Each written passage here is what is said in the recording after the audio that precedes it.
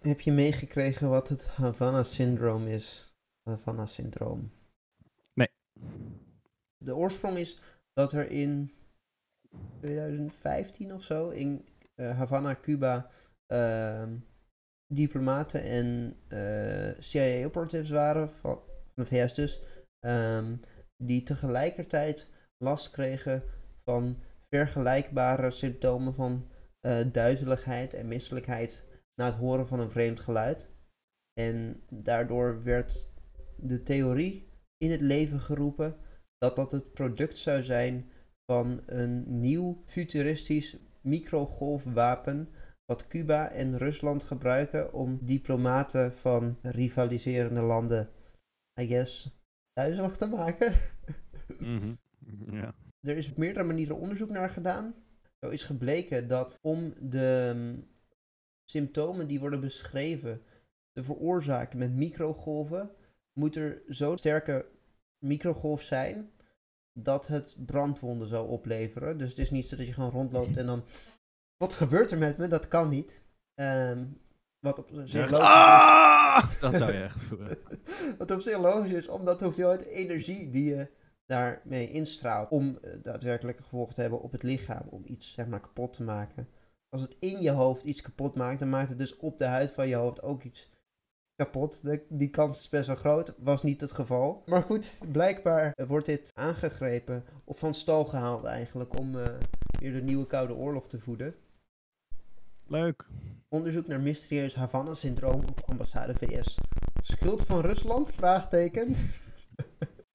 De Duitse politie is een onderzoek gestart naar mogelijke gevallen van het Havana-syndroom op de Amerikaanse ambassade in de hoofdstad Berlijn, meldt de Duitse krant Der Spiegel. Het syndroom zou opzettelijk veroorzaakt kunnen worden door Russische spionnen, denkt de CIA. Dat is wel mijn favoriete zin die ik ooit gelezen heb, denk ik. Het syndroom zou opzettelijk veroorzaakt kunnen worden door Russische spionnen, denkt de CIA. Dat bedoel, de CIA denkt dat het zo zou kunnen gebeuren. Ja. Oké, okay. ja, ik, hang, ik hang aan je lippen, zou ik zeggen. Misschien moeten we aan het AD, of specifieker aan Wouter Peer, um, moeten we CIA-speak eventjes naar het Nederlands vertalen. De CIA denkt dat iets zo zou kunnen zijn, betekent we willen dit idee verspreiden, alleen hebben we er geen bewijs voor. Dus zeggen we gewoon, we hebben sterke vermoedens dat dit een mogelijkheid is. En dan ja, ja. Uh, is het in de conversatie en het gevolg ervan is dat je in het bewustzijn van mensen dat idee verspreidt. Hmm. Wouter Peer heeft ook een, een master in Transatlantic studie, Studies en een bachelor in American Studies. Dus ja, dus die is gewoon gekneed. Lekker gekneed door uh, dat soort figuren. Het mysterieuze Havana-syndroom is vernoemd naar de Cubaanse hoofdstad, waar in 2016 een groot aantal Amerikaanse medewerkers van de ambassade en hun familieleden last kregen van dezelfde symptomen: migraine, misselijkheid, geheugenverlies en duizeligheid. De CIA meldde afgelopen juli nog dat er inmiddels zo'n 200 Amerikaanse diplomaten wereldwijd last hebben gehad van deze symptomen. De grote aantallen waren afgelopen juli reden voor CIA-directeur William Burns om het geen toevalligheid meer te noemen. De grote aantallen meldingen zijn niet de reden om het van stal te halen, maar gewoon, hé, hey, we moeten Rusland weer ergens de schuld van geven.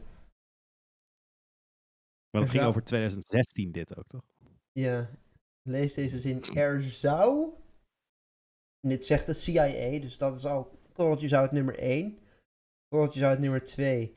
Er zou een erg grote mogelijkheid zijn, dat korreltjes uit nummer 3, dat het syndroom met opzet wordt veroorzaakt met Rusland als boosdoener. En dat is eigenlijk het enige gedeelte van de zin waarvan ze, je echt wil dat, dat, waarvan ze echt willen dat je het leest. Um, die met een soort van als een stelling wordt geponeerd. Ja. Het zou ook niet zo kunnen zijn, maar omdat we de hele tijd in dit soort artikelen continu het zou kunnen dat dit, het zou kunnen dat dat, um, heeft iedereen eigenlijk al de standaard aanname van het zou wel weer eens niet zo zijn. Rusland heeft het weer gedaan. Volgende zin is het niet, is niet anders. Het zou bijvoorbeeld kunnen dat de symptomen worden veroorzaakt door apparaten die bepaalde radiogolven uitzenden richting de ambassade. Maar ook als je dan, zeg maar, als dat van buiten de ambassade erheen gestuurd wordt en je loopt gewoon langs de ambassade, dan word je er ook al door. eh, Nee, want ze kunnen heel goed mikken. Zo werkt dat niet. Bovendien, het zou niet kunnen, want dat is gewoon natuurkundig radiogolven- onmogelijk. Dat hebben ze zelf geconcludeerd. Der Spiegel meldt dat de Amerikaanse overheid materiaal aan de Duitse politie zou hebben overhandigd die hen doet vermoeden, nog weer meer twijfeltaal, dat er meer aan de hand is. Insinuatie. Meer over het onderzoek is nog niet bekend. Is nog niet bekend. De Amerikaanse ambassade in Berlijn heeft nog niet gereageerd. Dus blablabla, niks, niks, niks. Ja. Dit is gewoon een masterclass in, ehm, nou ja, gewoon een schoolvoorbeeld van gewoon een bepaald idee eh, mensen laten aanwennen. Want er staat eigenlijk niks, omdat er de hele tijd staat, ehm, deze eh, absoluut niet neutrale bron zegt dat het misschien met enige mogelijkheid het geval zou kunnen zijn dat, en dan komt waar het om gaat, en vervolgens wordt er geen enkel geen enkele twijfel daarbij geplaatst, naast dat het niet met absoluut taalgebruik is neergezet. En voor de gemiddelde lezer boeit het ook niet. Want Nee. je leest gewoon dat en dan lees je de volgende dag weer. Er zou, er zou een dit of dat zijn gedaan door deze officiële staatsvijand. En dan de volgende dag, er zou dit en dat zijn gedaan, zegt deze totaal niet neutrale bron. En je, je went gewoon aan dat dat is wa- wat je de hele tijd hoort. En dan, ja, waarom zou je niet denken, want er is een patroon. Dat is het complotdenken waar het over ging daarnet. Je, je, of er wordt daardoor eigenlijk een patroon gecreëerd wat er niet is.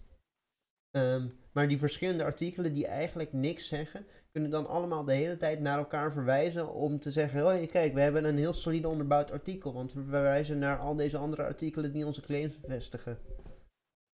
I mean, dat is ook wel hoe waarheidsvinding zeg maar, werkt, toch? Ja. Want je moet een beginpunt hebben van wat is waar. Mhm. Maar ja, Ja, precies. Maar het idee is dat je dat dan uiteindelijk kan terugvolgen tot het punt waar je daadwerkelijk de oorspronkelijke bron die je kan controleren ziet. Maar dat is hier helemaal niet zo. nee, nee, nee, precies.